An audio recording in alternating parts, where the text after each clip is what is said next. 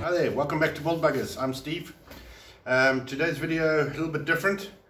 Uh, I had a friend of mine that asked me to help him out with a parrot. Um, for those of you who don't know what a parrot is, basically it's just an easy, it's a little tool that we make just to uh, make things easier to be able to test the, the, the strength of alcohol as the still's running. Um, I'll show a little pic here somewhere. right, so um, he's given me a few things to. So what I've got here, I've I've already um, um, worked out according to what he needs to try and modify the the parrot um, as to how big and and how long it needs to be.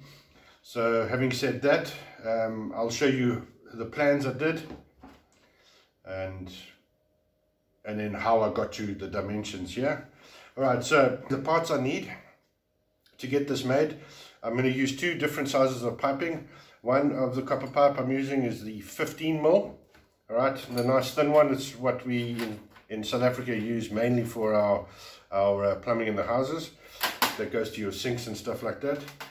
A 22 mil pipe, slightly bigger this I've chosen this width because um, my friend's um, the, the the alcohol tester he's got uh, will fit nicely in here. Um, then I have at the top of the still I've got two what we call reducers.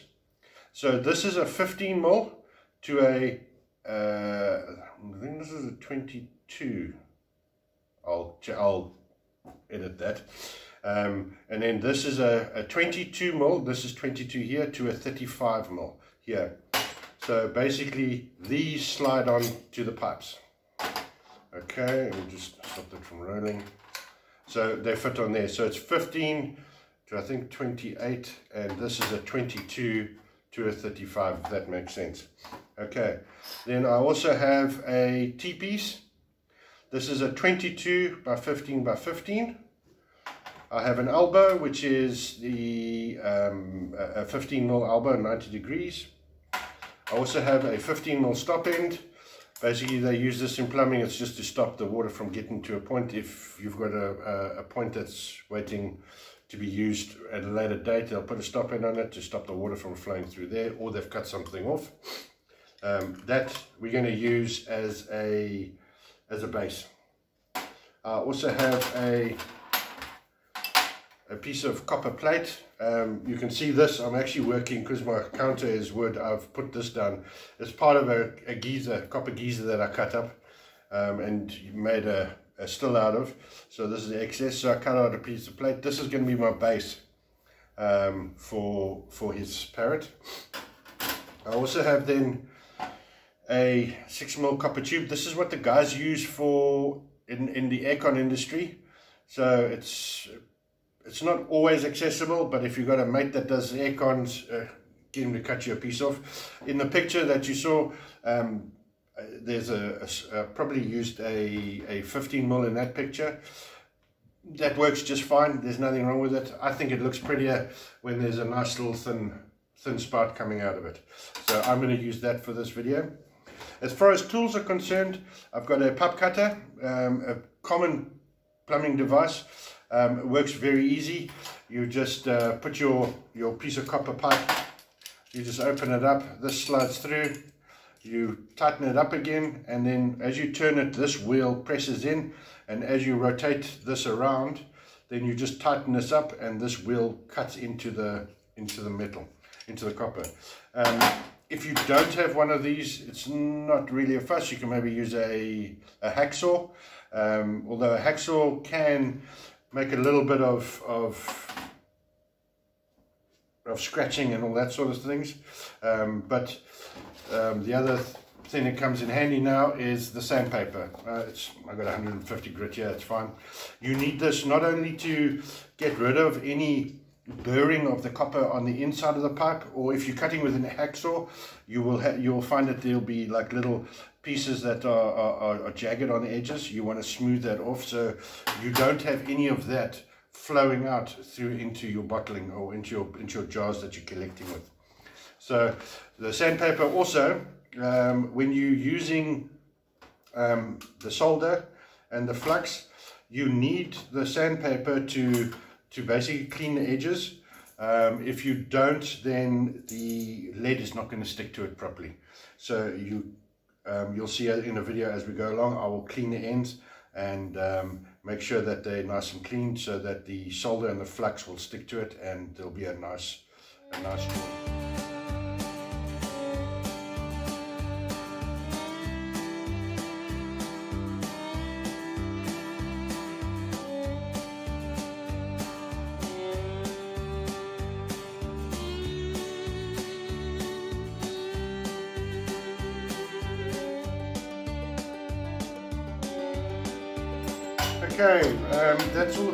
Cleaned up.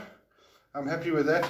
I just want to say that on on on this piece here, you on on the um, reducers, inside the reducer, there's normally a little lip on the inside, um, which uh, you can see it's still on here. So what happens is when you put it in, it will only go as far as that.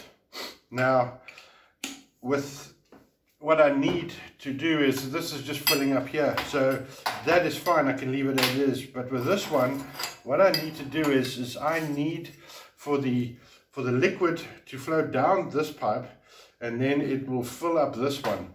And then it needs to to overflow. So I need that little lip to to uh, I need to wear that uh, grind that down so that I can push the pipe straight through. And then I normally just leave it just slightly slightly over.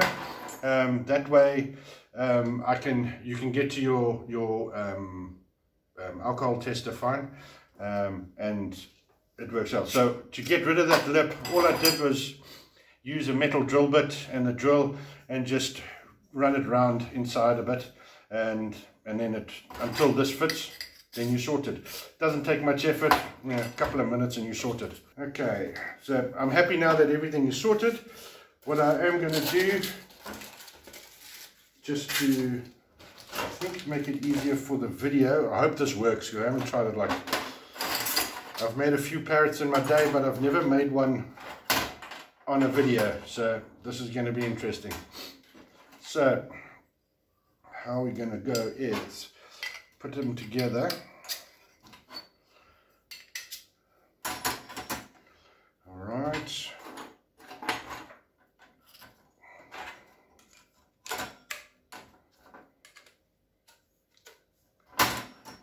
Okay, now the reason why I do this too is so that, maybe it's better to put it that way. Um, all right, so I need, um, I have because I need the height for Rob's um, collection containers, um, I've extended this. This is a, a, good good thing to keep in mind that um, if you just make it as is and you put the, the stop end closer down here, it makes this part um, a lot shorter, which also means is that you're limited onto the size of the jars that you can put underneath the spout, which is going to basically sit like that. So um, he's he's got quite big jars um, and prefers to have it like that. If um, so, he would rather have the height um, than be fussy on what he's collecting in. Um, other thing too is, is if he wants to use smaller containers, then he can just prop up um, with like a block or something like that underneath the, the collection container. So this allows him to be able to use what he's currently using and then still um, utilize other products. But that's basically going to be our store and then this will be attached at the bottom here. Um, so it'll stand up and, and that's that's pretty much it. So what I'm going to do now is I'm going to add sol um, uh, flux into all the pieces um, and um, the other th reason too I might as well mention is the reason why I like to do this is because of the different heights of these two. If I lay it flat, then it's um, your your um, parrot is going to look out of sync and, and look a little bit odd. So this keeps it almost in line. Um, because this one I might be a millimeter out or so but that I can just tweak just when and heat up and just bend it a little bit um, but because this is lying within the slot and this one's lying on top of the this bar here means that it's almost almost in line. I might be a fraction out but uh, hopefully not. We'll see when we when we get there. Okay so it's a matter of taking apart and fluxing up the little pieces and then put it back together again. So I'm just gonna um, with flux again, sort of like the using the hydrogen peroxide for cleaning your still. If you have sensitive hands, then wear gloves or a brush, works just as fine. I just like to use my fingers. It's, maybe it's just because I'm an idiot, a sucker for punishment. Um, it gets, it does get messy. Just keep a cloth on hand and, and to wipe it. Do not wipe on your clothes. It's going to put holes in your clothing what I like, the reason why I like the um, using my finger is that I can make sure that I'm not like sort of over overdoing it and I can restrict the amount that I'm putting on. You don't want too much flux, otherwise it's going to make a mess. Um, so I'm going to put that in. I'm just going to add them. Oh crap, don't need that on the inside, I need that on the other side. All right, so that's on. I'm gonna put some in there. And some in here. Okay, we can go back on. Some of the outside here. Some of the inside on this one. put that back. Then I need some of that you'll see when we heat up the um, the, gas and we're heating up the flux that you'll see where it, it tends to clean off and and help the, the copper. I'm not going to worry about that because I, like I said, I am going to clean it afterwards. So, but if you don't clean it up afterwards, it will even leave fingerprints and stuff like that. So Alright, so this is pretty much, I'm happy here. Um, a little bit on the outside of this one. And we should be good to go. Okay, so that's my that's my still. I'm happy with that setup. Mm.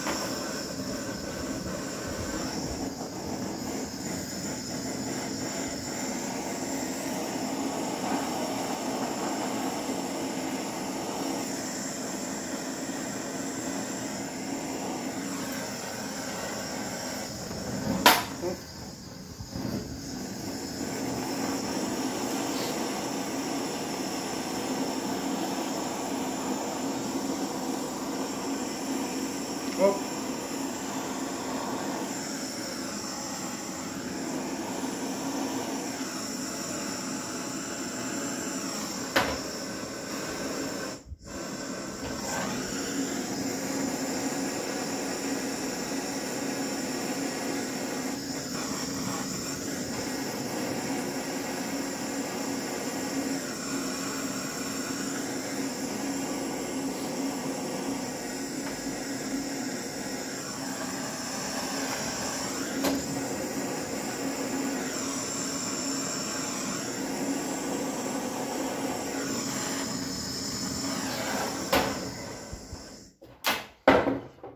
done, I'm just going to give it a wipe. It's going to be hot.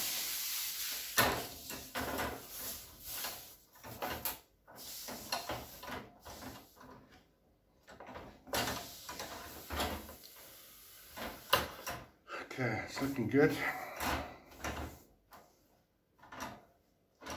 Okay, so you can see here too with the, the colouring of, of where the solder was. I'm going to do, uh, uh, you, as you might have noticed, I didn't do this one yet.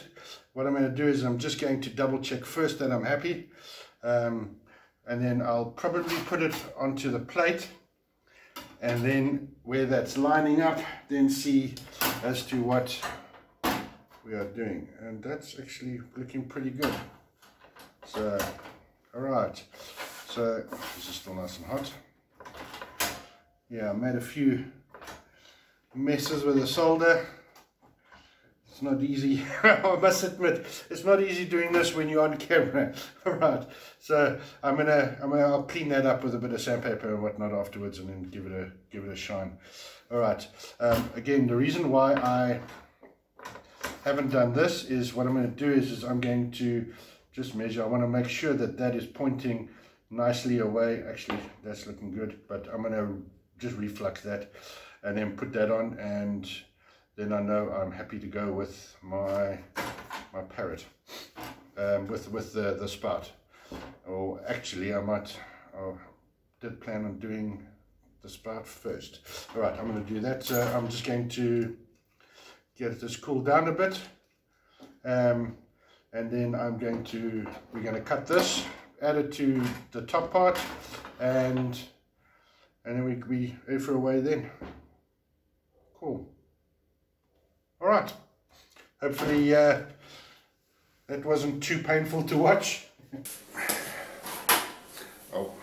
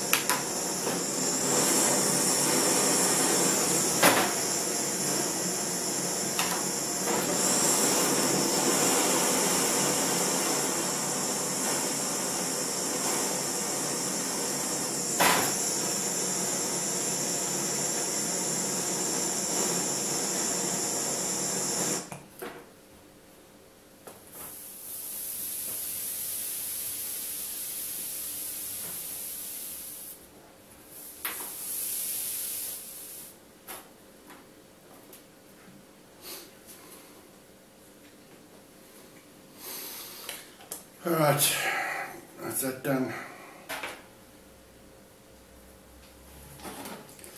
Okay, so I've mounted the parrot. I'm going to put that over here now. Let that stand for a bit. Yeah, I think I need to redo the top part. And I'm going to cut this piece.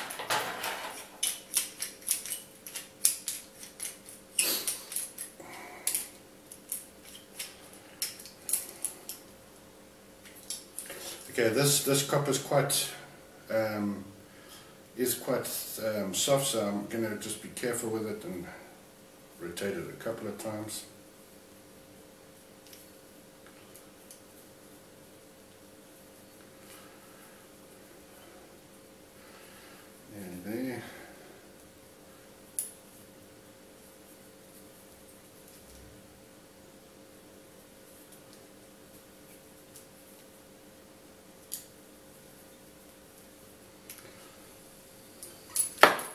go.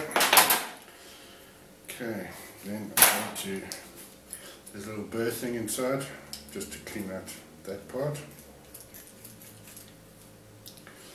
And this part. Okay. A little bit of sandpaper.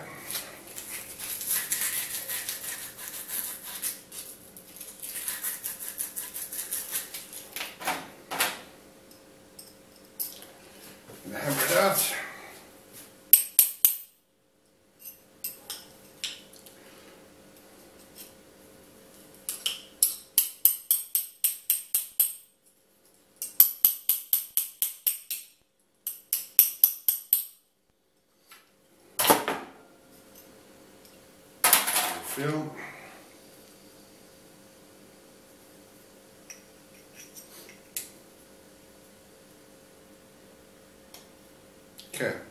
so that's now a nice tight fit. I'm going to go with that. Okay, some flux.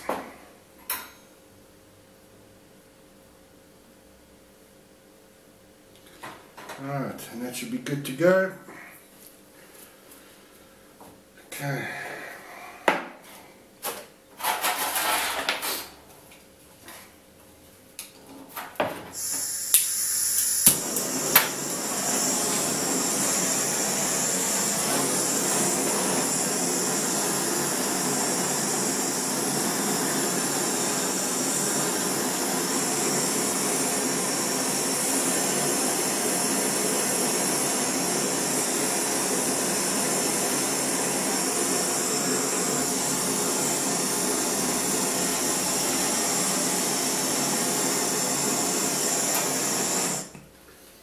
Okay, that's that done.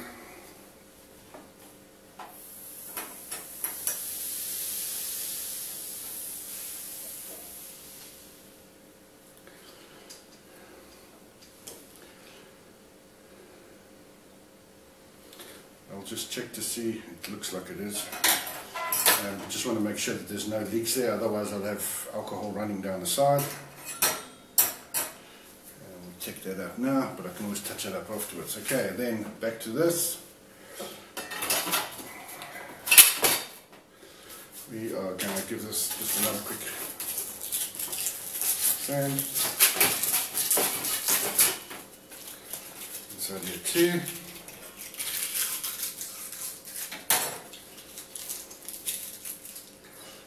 Yeah, bit, still a bit hot. That should be fine. This one I need to clean up a bit.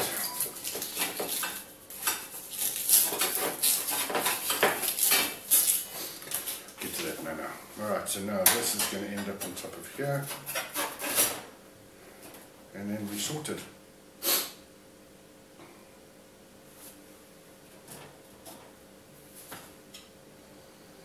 Looking good. Okay, we'll be back. Okay, now for the last part. I'm going to stand up and do it this side, it's a little bit easier. I've got my flux on there, bit of flux on the outside. Okay, we'll go on top. Alright, line it up and then we're good to go. Alright, fire on.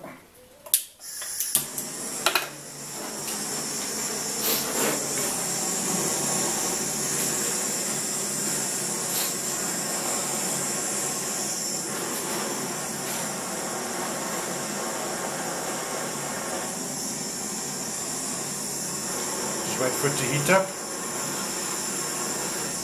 Once it starts to bind then you know it's hot enough.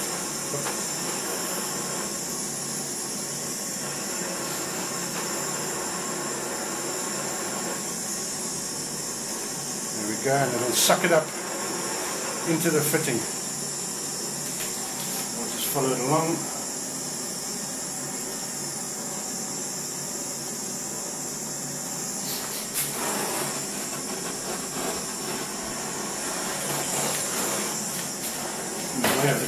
Okay.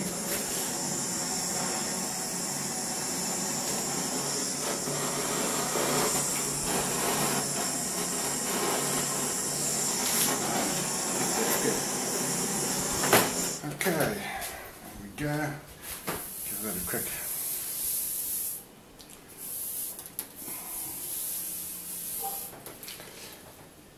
and that is that. That should be working fine. Got a splatter. And that's my parrot sorted. Now I'll give it a bit of a clean up with some sandpaper or some um, uh, steel wool and then give it a dip in my 551 solution and then we are a for away. And that's as easy as it is to make a parrot. Alrighty. Okay, welcome back. Alright, so finished the parrot. I've just given it a good clean with my 551 solution. Um, if you uh, want to see how that's made, check on uh, one of my previous videos on cleaning your still. Uh, it'll give you the recipe there and I'll have a, a, link in the, in the comments down below too. Right, so I'm very chuffed with this, it came out nicely. The base plate is made with a little screw hole so that if he wants to mount it on a wood, he can. Um, his dimensions that he needed, um, so his condenser um, will come to here, um, and that's at about about um, 400 millimeters up. And so I'm sitting there bang on 400. I'm very happy with that. And then his biggest container is 270 mils from the base. And that there is 270, so that's perfect because then it can the lid will be able to fit here and then the, the, the runoff will be inside inside the container. So that came out nicely. Um, um, after giving it a nice clean, um, it's looking really smart. So, like I said, his um, um, alcohol tester will go into here. As the alcohol is is um, stronger, it'll it'll be lower down. He needed 240 mils for that, which is also bang on target there. So I'm happy with that. Um, and then as the, so the, the, the, alcohol will flow into here, it'll fill up this tube and overflow into this um, um, reducer, which is now the little bowl, and then it'll, it'll pour out this side. Maybe I can do a little bit of a, a pour now after, after this and just show you how it's doing without any special effects and stuff. Then the alcohol tester fits in here, that'll bob up and down and show, and then it'll give you a reading as to how strong your alcohol is at that point of the run. Um, and that's, that's the main reason why a parrot comes in handy. Alright, so hope you enjoyed the video. Don't forget, give us a like and a subscribe and uh, share with your friends and we'll see you in the next video. Cheers.